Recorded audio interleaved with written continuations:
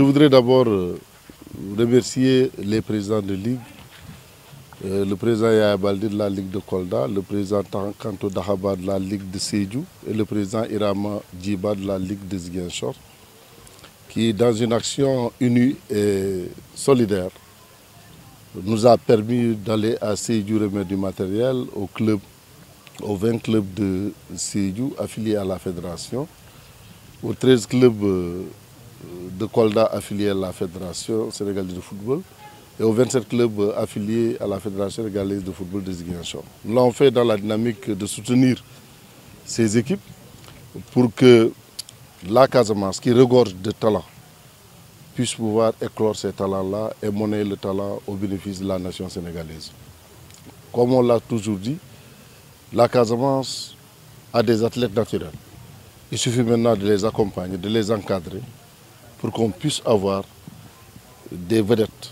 Et ça, c'est possible à l'image de Sadio Mane, de Papis Demba Sissé, de Ankilin Diabon, que nous allons citer dans le judo, de Hortense, de Isabelle, en lutte. Donc nous avons tellement de potentialités ici qu'il suffit de les encadrer pour que ces potentialités fassent éclosion.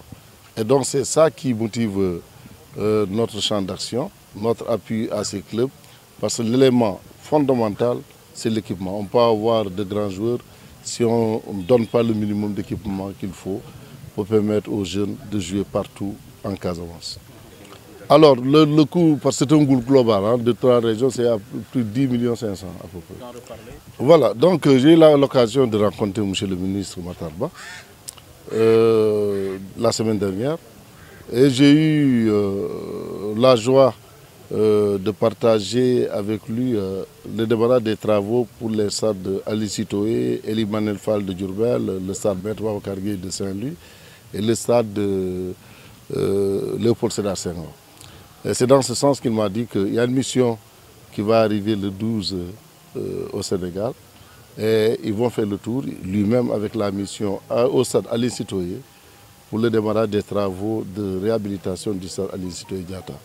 Alors, on va faire tout le tour du stade, hein, on va réhabiliter encore la toiture, on va reprendre les tribunes, tout ça.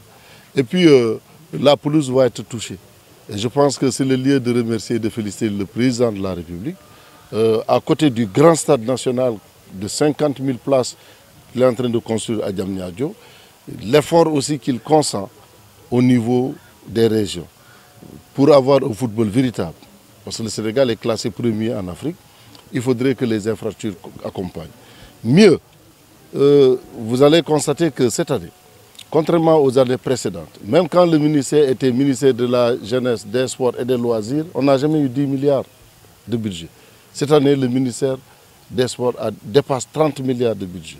Ça aussi, c'est la volonté du chef de l'État. Il faut le remercier, l'encourager, mais aussi aller vers des résultats probants qui permettent de comprendre que les efforts du président de la République et de la nation sénégalaise ne sont pas vains.